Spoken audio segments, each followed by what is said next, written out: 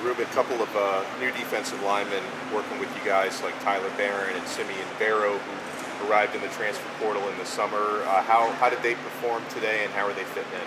Oh, it was definitely a great first day. Um, practice, so you can tell it's the first day, but it still wasn't bad. A lot of uh, cheer going back and forth the whole line as expected, but we all performed pretty well as a, as a whole unit. But the new guys, they definitely were some out. Cam Ward said that the defense won the day. Uh, do you agree with that, and, and why so? Yeah, thousand percent. We were getting after it from seven on inside runs all the way to the last. team called it. Uh, a lot of young guys scored some interceptions. A lot of guys made some plays from second level all the way to the B line. So we look pretty good as a whole unit. But uh, I'm pretty sure the offense is going to try to bring it along. So we all look forward to another day. Is it like the first day of school? I know it's like cheesy to say that, but is it just to get you know get things started, knowing like as of today the season begins a month away? Yeah, definitely. Um, just having like get all the jitterbugs out. Everybody was just so excited to get back. It's like that first day when everybody got their first outfit all picked out and stuff like that. Everybody was coming in, all these little trips and all stuff like that. We were just ready to get after it, have fun. Some people tired, some people drained, but it's all in the game. Everybody's gonna get better as the progress. We can talk a little bit about your work ethic. Um, you know, you've always been a hard worker from the day you got here, and also obviously at Central. Uh, where's that all come from, and you know, why do you like the work so much? Uh, sure, I think it was just how I honestly. I knew that hard work pays off, so it's just something that was instilled in me. Like, it's something in my mind I feel like I can reach. I'm gonna for no matter what's in my way or what's being said about it for. I'm gonna work for it no matter what. If I feel like it's enough. If it's in my, if it's in my, I forgot how to say it, but if it's in my grab, I'm gonna it. Touch a little bit on Junior, but Simeon specifically, just what stands out about him? It was obviously the size, what he's able to do on the interior, just what stands out and how much is he going to be able to help you guys with the line?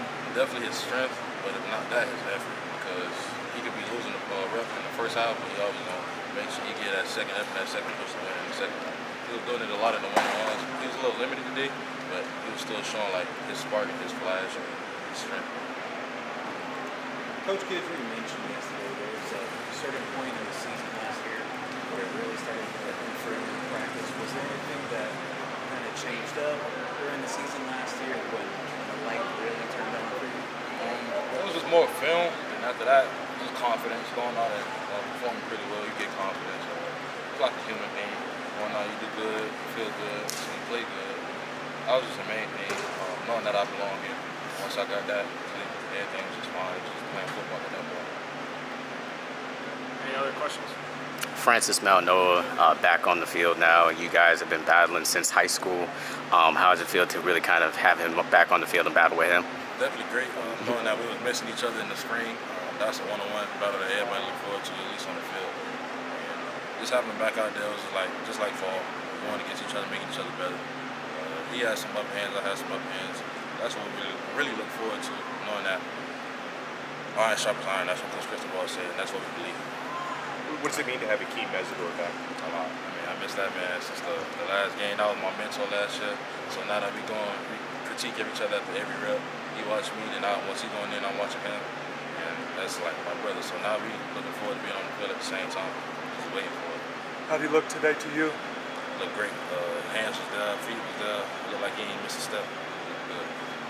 Anything else? And Tyler Baron, uh, just your impression of him since he's arrived in the program? Huge body, real athletic, real fast, smart. Like he's a real chill dude. Like anybody that come in here, they think like we only got one year left.